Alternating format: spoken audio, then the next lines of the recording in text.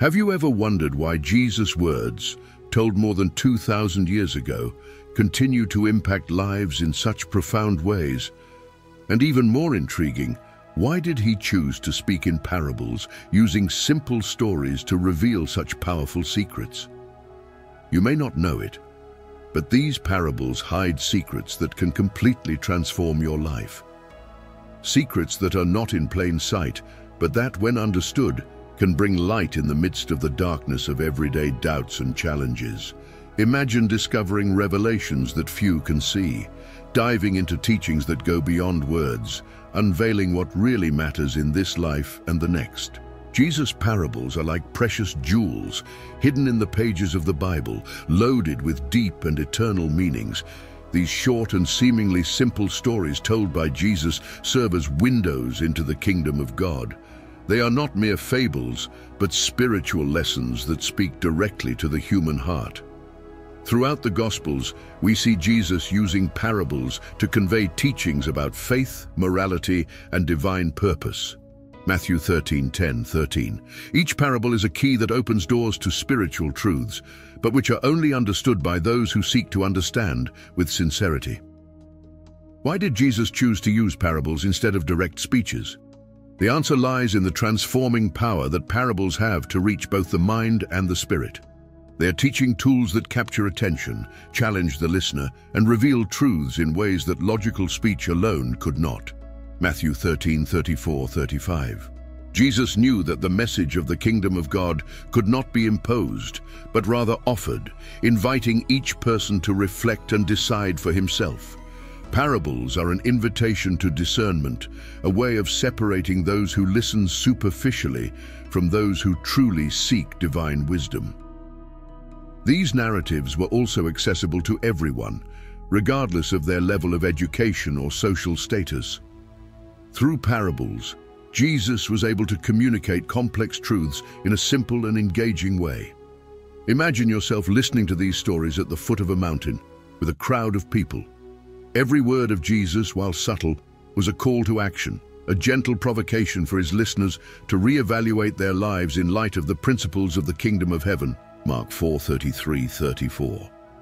Thus, Jesus' parables remain a powerful teaching tool, challenging us to live according to the Bible verses and to apply those teachings in our daily lives. The parable of the sower is one of Jesus' most well-known parables, found in Matthew 13, 1, 23, and it powerfully illustrates how God's word is received by different types of human hearts. In the story, the sower sows seeds, which represent the word, in four types of soil by the wayside, in stony soil, among thorns, and in good soil. Each type of soil symbolizes a distinct response to God's message. The seeds by the wayside are quickly snatched away by the evil one, while those that fall on stony soil sprout quickly but wither from lack of depth. Seeds among thorns are choked by the cares of life, and only those that fall on good soil bear abundant fruit. Spiritually, this parable reveals the many ways in which the human heart can respond when it hears God's word. The hard ground represents those who hear but don't understand the message, allowing the enemy to steal it immediately. The stony soil symbolizes those who receive the word with joy, but do not have deep roots and in the face of difficulties quickly go astray. The thorny soil reflects hearts burdened by worldly worries, riches and pleasures, which end up stifling spiritual growth. Good soil, on the other hand, is the receptive and fertile heart, where the Word of God takes deep root, resulting in a transformed and fruitful life. For reflection, this parable challenges us to examine our own hearts and our receptivity to God's word. Have we allowed the worries of life to stifle our faith? Or perhaps we are like the stony ground with shallow enthusiasm but no lasting commitment.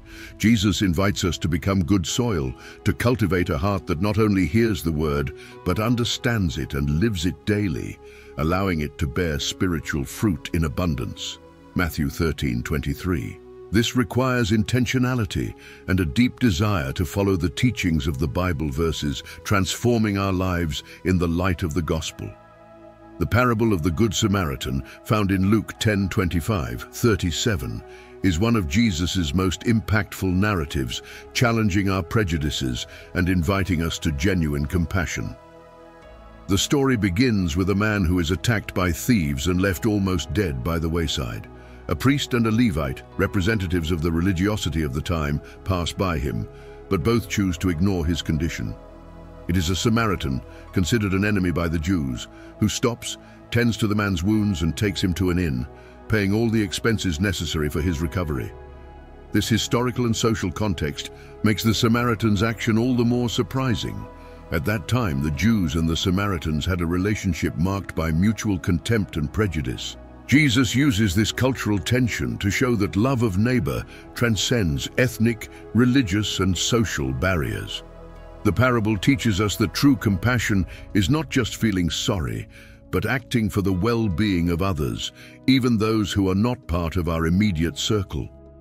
The Samaritan thus becomes a living example of what it means to love one's neighbor as oneself, a central commandment in Scripture.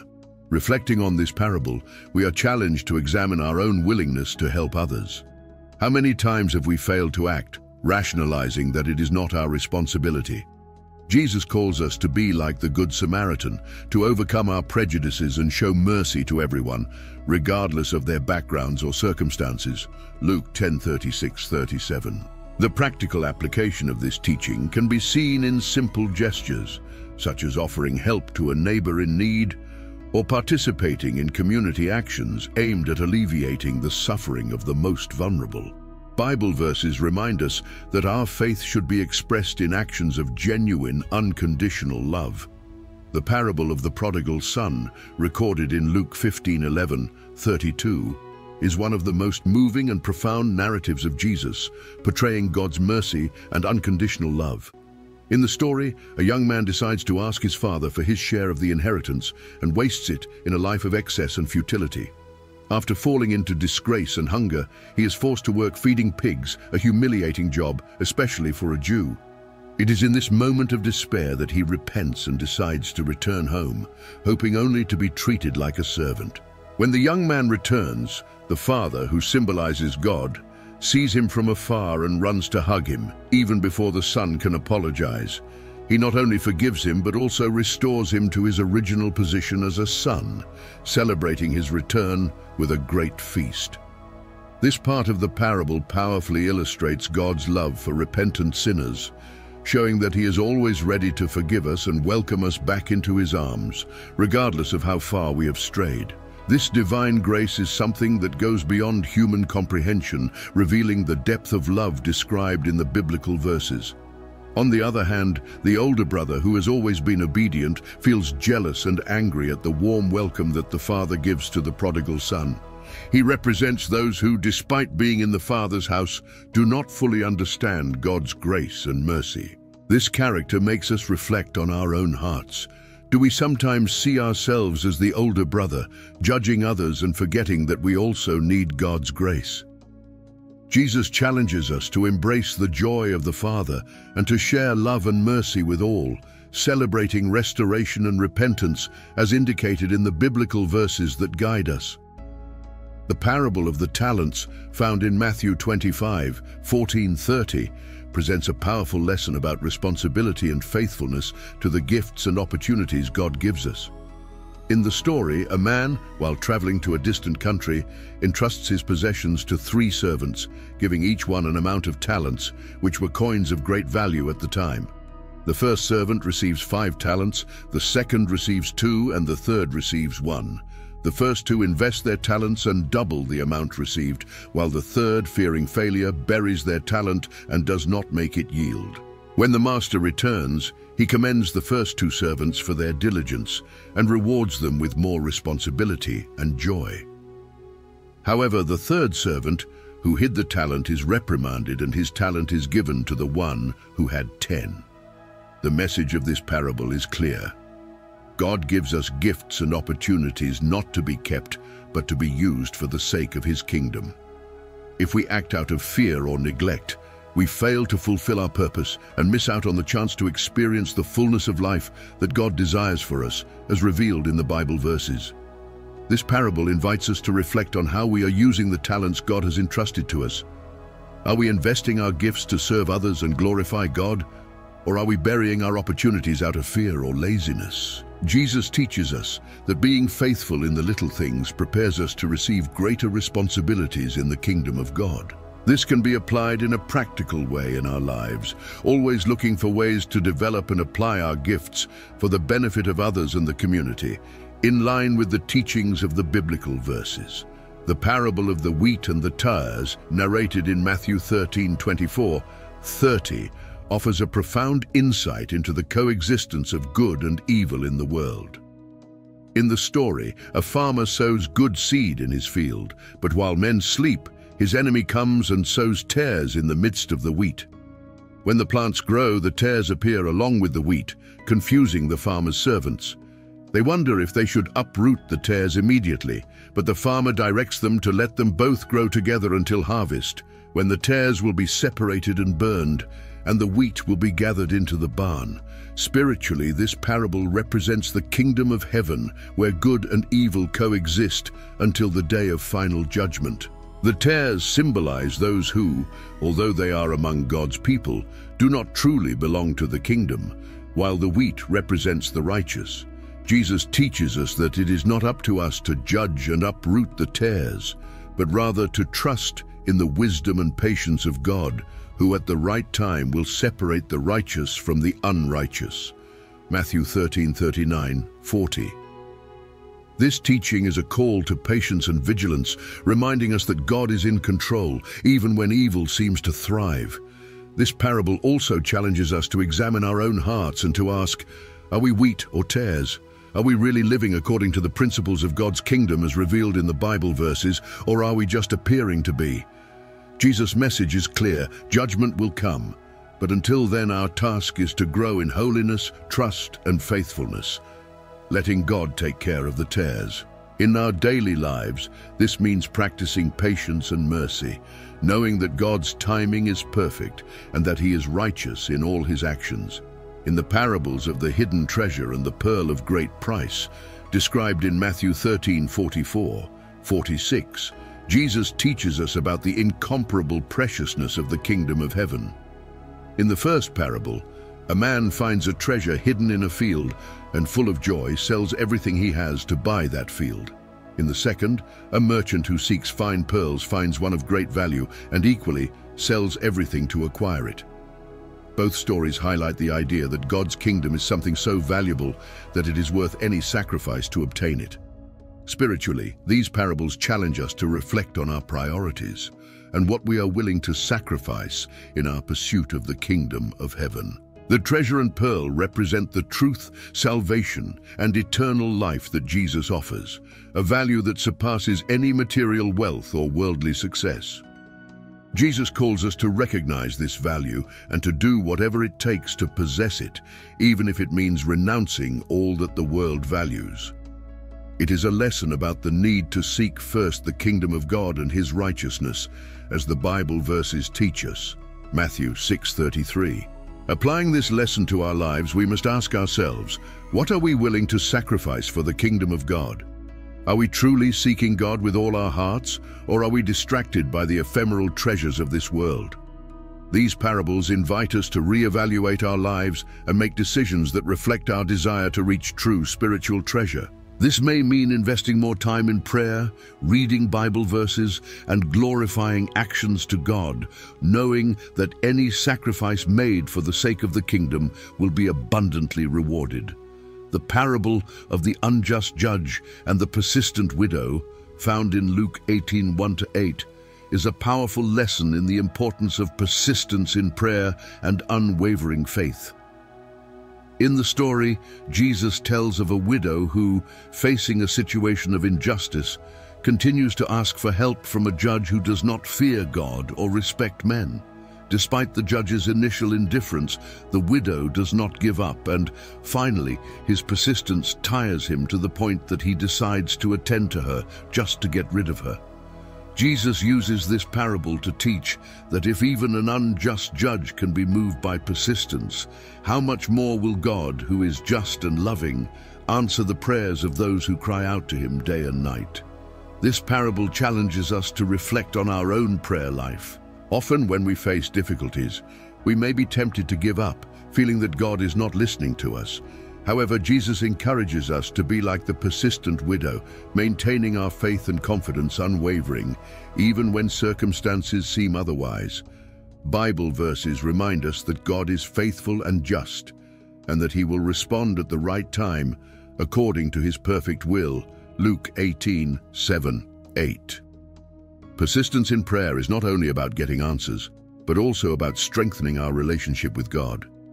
By applying this parable to our lives, we are invited to persevere in our prayers, knowing that God hears each prayer. If you're praying for a change in your life, for healing, or for a specific need, don't give up. Keep seeking, knocking and asking, trusting that God in his wisdom will respond according to his perfect plan. This perseverance is a reflection of our faith, as the Bible verses teach us, and it keeps us connected to God's transforming power, even in the most difficult situations. The parable of the barren fig tree, told by Jesus in Luke 13, 6 and 9, carries an urgent message about repentance and God's patience. In the story, a man plants a fig tree in his vineyard, and for three consecutive years finds no fruit on it. Frustrated, he orders the wine grower to cut it, as he is only occupying the soil uselessly. However, the wine grower asks for another year to take care of the fig tree, digging around it and fertilizing it in the hope that it will bear fruit. If it is still sterile, then it can be cut off. Spiritually, the fig tree represents God's people and more broadly, all of us. God, the owner of the vineyard, expects our lives to bear spiritual fruit, acts of love, justice and obedience, as revealed in the Bible verses, Galatians 5, 22, 23. However, the lack of fruit can symbolize a life disconnected from God without repentance or true change. The patience of the wine grower reflects God's mercy, which gives us time to repent and change our ways. However, this patience is not infinite, and the parable alerts us to the urgency of bearing fruit while there is still time. This parable challenges us to seriously consider our own spiritual lives. Are we producing the fruits that God expects of us, or are we living in a sterile, purposeless way? Jesus invites us to do honest self-examination and take concrete steps to cultivate a fruitful life through reading Bible verses, prayer, and deeds of faith. The time we have is an opportunity to turn to God and allow Him to transform our hearts so that we can live in ways that glorify His name and fulfill His purpose in us. Jesus' parables are not just ancient stories, but living lessons that span the centuries, speaking directly to our time. They invite us to apply Jesus' teachings in practical ways in our everyday lives. Each parable is like a mirror that reflects not only the challenges we face, but also the divine solutions to living them according to the principles of the kingdom of God. Through these stories, we are called to reevaluate our priorities, our attitudes, and our relationship with God and our neighbor, always in the light of the biblical verses. Applying these parables in everyday life means living with purpose and intentionality, always seeking the kingdom of God above all else. This can manifest itself in simple ways, such as showing compassion to our neighbors, being faithful in the use of the talents God has given us, or persisting in prayer even in the face of adversity. The parables challenge us to act, to not just be listeners, but doers of the word, allowing Jesus' teachings to transform every aspect of our lives. After all, Jesus' call is to a life of active faith, where the principles of the kingdom are lived in a practical and visible way. These lessons are as relevant today as they were in Jesus' time. Modern society, with its distractions and challenges, desperately needs the values of the kingdom of God, and parables offer a clear path to incorporate them into our daily journey. By reflecting on these stories, we are led to an inner transformation, which propels us to live according to God's will, as revealed in the Bible verses. True wisdom lies in applying these eternal truths, allowing the light of Christ to shine through our actions, inspiring others to do the same. Throughout this journey through the hidden secrets of Jesus' parables, you have been challenged to see beyond the superficial, to reflect deeply, and to turn that understanding into concrete actions. But the real question is, what will you do with this knowledge? Parables are not just stories to be heard, but invitations for real and lasting life change. Are you willing to apply these teachings in your daily life? To seek the kingdom of God above all else, to cultivate an active faith, and to allow God's love and justice to guide your every decision? Now is the time to act. Ask yourself, am I living according to the principles Jesus taught us? Am I doing all I can to be the good soil that produces abundant fruit? If not, what's stopping me? This is the call for you to commit to a transformed life, where every step you take is aligned with the Bible verses and God's will. Don't let this opportunity pass you by without you making a decision. Subscribe to the channel, activate notifications, and continue this journey of learning and transformation. Let's go together, explore God's Word more deeply, and live according to the teachings that have the power to change everything.